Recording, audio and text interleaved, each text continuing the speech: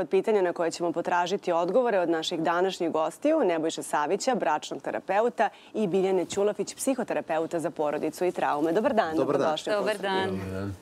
Evo, hoćemo da krenemo odmah od toga i od ove činjenice koja nas pa negde i brine, da je sve više razvoda i da ljudi nekako manje odlučuju da komuniciraju, da pričaju, da rešavaju probleme, nego je nekako najlakše otići, razvesti se i napustiti partnere. Se i vama to tako čini? Evo, Biljana, da krenemo od vas. Iz iskustva. Da. E, pa da, ljudi slabije komuniciraju. E, nažalost, komuni, komuniciraju sa nekim drugim ljudima. Komuniciraju sa svojim prijateljicama, e, sa kolegama sa posla, žale se, vrlo često kukaju, vrlo često ovaj, su u onoj priči da im je teško i na kraju se uglavnom dešava ono, Lesi se vraća kući.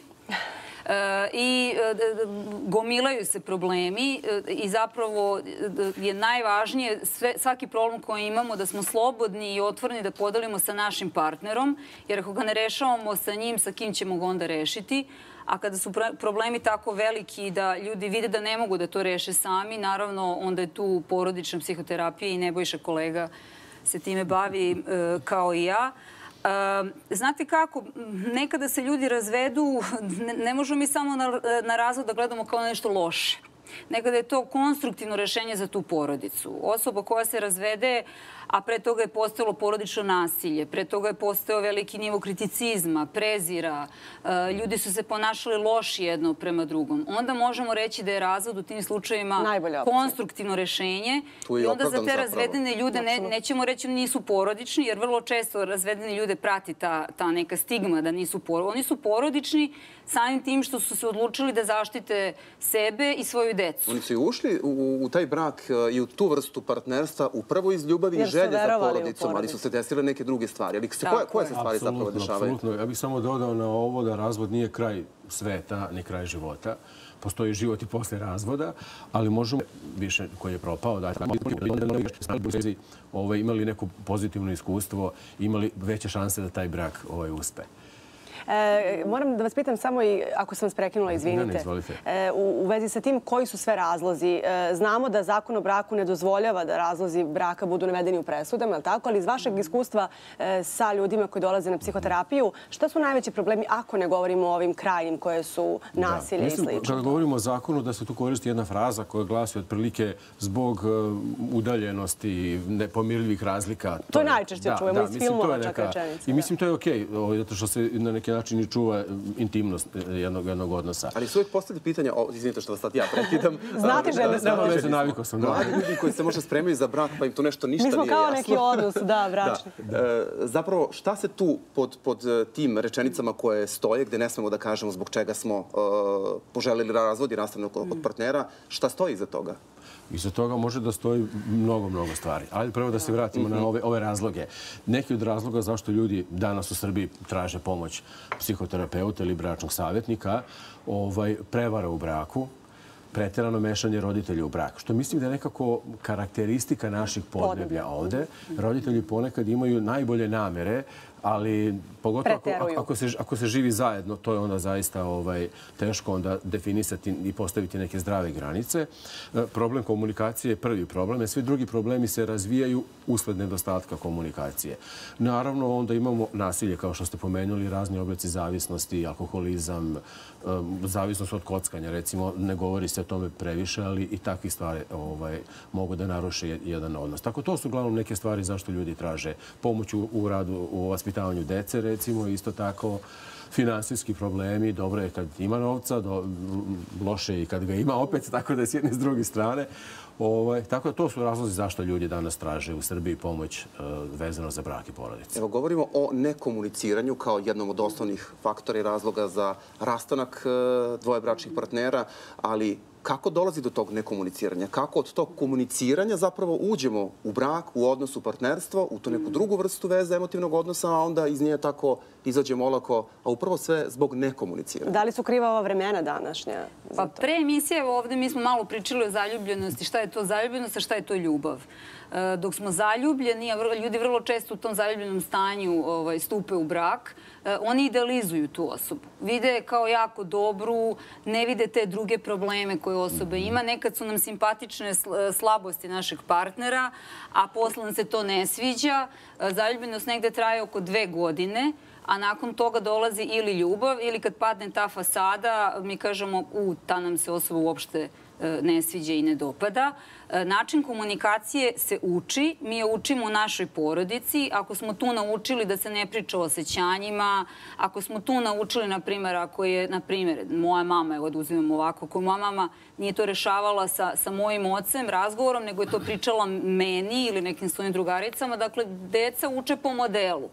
Uh, upravo zbog toga je vrlo korisna psihoterapija, jer mi dajemo kao porodični terapeuti dajemo uh, neke zadatke, upravo razgovore i slušanje. To su tako male stvari, možemo i sad da podelimo, uh, na primjer, jako je važno za, za ljude da imaju svakodnevni ritual. Da li je tu ujutro pijenje kafe i razgovor o tome kako ćemo provesti dan, kako se osjećamo, ili naveče isto neki jedan razgovor porodični, kako smo se osjećali u toku dana, koje smo probleme imali. Može napraviti veliku promenu e, u porodici. Nažalost, meni dolaze ljudi, kad ih pitam da li vi imate neki ritual da negde mirno da, da sednete, da pričate, oni kažu aha, imamo kad se vozimo kolema kad smo išli po dete u vrtić. Dakle, mi sami treba da se potrudimo da napravimo vreme za tu komunikaciju. Ako ne znamo kako da komuniciramo, e, postoje stručnjaci koji nas mogu naučiti tome. Nije to tako teško. Gospodine Saviću, zbog čega smo zaboravili da komuniciramo? Čini se da naše bake i deke nisu tako lako odlučivali se na korak e, da se razvedu. Opet kažem, govorimo o nekim svakodnevnim problemima u komunikaciji, ne ovim pa, koji su Postoje više paralela. Ako, ako gledamo taj brak naših baka i deka, to su bila sasvim druga vremena gde je bilo važno opstati bukvalno i nekako ljudi su tada manje gledali na emocije. Danas mi tražimo osobu za brak, pa u prvi plan stavljamo naše emocije, tražimo nekoga ko, ko će da nas voli, ko će da nas podržava, da nas ohrabruje, da razume i tako dalje. A u vreme naših deka i baka bilo je najbitnije naći nekoga da mi živimo sa njim, a sve ove emocije dolaze kasnije. Možda, možda i ne dođu. Ali Zavolimo se vremenom. Tako je, da. Pa tako je bilo, da. Interesantno, tad je bilo manje razvoja, to, to je sad neka druga priča.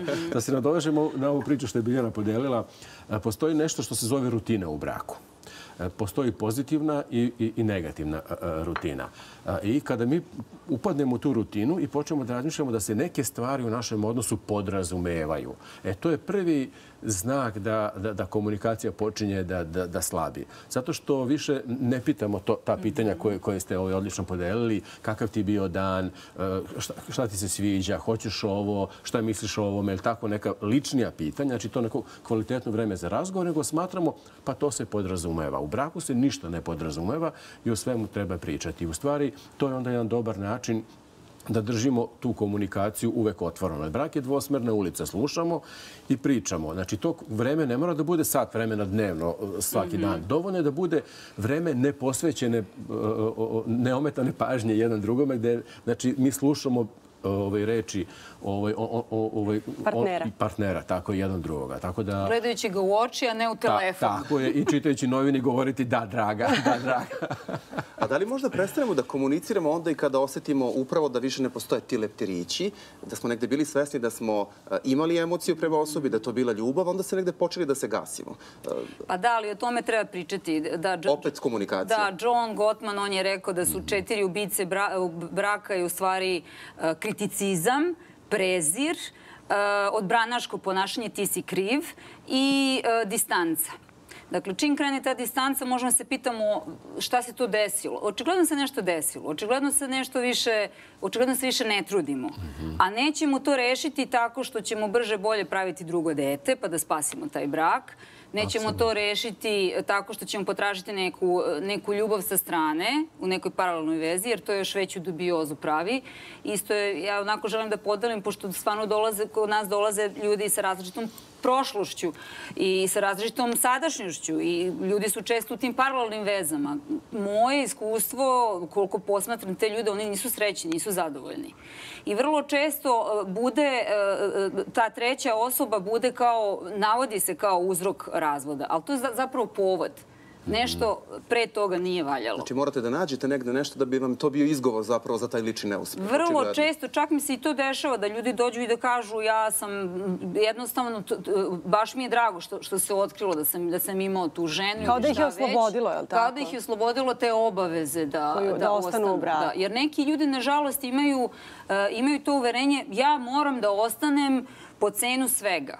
Onda to nije dobro, zato što ako su stvarno jako loši odnosi, vi ćete, vi ćete biti bolesni, poboljevaćete zbog toga. Štitne, problemi sa štitnom ž- žlezom, problemi sa, sa kancerom, pa i ovo što se pominje e, insulin, insulinska rezistencija. Sve to zapravo svoj uzrok ima U stresu. u stresu i u partnerskom odnosu. Ja bih da podelim i, i ono istraživanje koje je trajalo 80 godina na Harvardu, pratili su ljude zašto su ljudi srećni, zadovoljni, e, to, toliki niz godina. I nije u pitanju bilo, bilo ni novac, e, ni, e, nije u pitanju bilo ni status, u pitanju je bio njihov partnerski odnos. Najzdraviji ljudi su oni koji su imali kvalitetan i dobar e, partnerski odnos i ono što Nebojša kaže, jako je važno da mi možemo da radimo, evo na ovoj kartici, e, da radimo čitav život na našem odnosu, a i da radimo na sebi. Da radimo na sebi i da smo spremni e, da se menjamo i da ne upadamo u rutinu, nego da budemo i da onako, da budemo spremni i da saslušamo. Nas su svi nekako mnogo egocentrični, ja, ja, ja, pa ja. Ovaj, za brak je potreba da noseće zajedništva.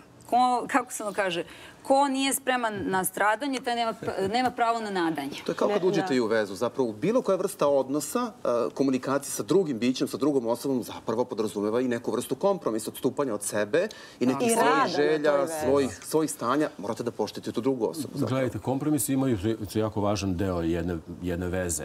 Ovaj, ali Koliko pod, god e, bili nepopularni za sve nas. Da, ali gledajte, postoji da pravi dobri i loši kompromis, da. I dobar kompromis je kad činimo nešto iz ljubavi. I dobar kompromis je kad obe strane čine neki ustupak. Loš kompromis je kada činimo nešto pod pritiskom, strahom i kada se uvek insistira da jedna strana čini kompromis, a da druga ne radi ništa. Samo bih se nadovezao na komunikaciju, pošto je to, mislim da je jako važno. Jedan od razloga zašto ljudi ne komuniciraju jeste kad su povređeni onda postoji neki odbrambeni mehanizam, pa zatvaramo se i onda ne delimo te neke stvari, a povređeni ljudi uglavnom povređuju druge. Tako da ovaj, to su možda neki, ovaj, neke stvari na koje gledalci mogu da obrate pažnju kada ste povređeni. Nemojte da istrajavate u tome, već jednostavno rešavajte probleme razgovorom, jer je to najbolji način i što pre, to bolje da, da se neke stvari reše. E, gospođo Ćulafić, ja volim filmove sa srećnim krajem, pa da li ti Baš parovi iznenađeni što, što, što, Molim ovaj, koji dođu kod vas, da li se desi da se zaista ta strast ponovo rasplamsa, iako je ugašena? Pa može da se rasplamsa ljubava, naravno donekle i strast. Ali tamo gde nikad nije bilo ljubavi i strasti, to to, je vidi. nemoguće. To se je onda oseti. nemoguće. Pa, a znate, e, e, jeste da su naše bake i deke ulazile iz tog nekog, da kažem, računa. Neko im je delovao pouzdan, pouzdano, pa su, pa su ulazili u, brak s njim. A, ali dešava se to i danas. A onda ljudi očekuju posle toga nekakve leptiriće. Mislim, pre svega ne treba precenjivati leptiriće. Treba ceniti ljubav, zajedništvo, posvećenost.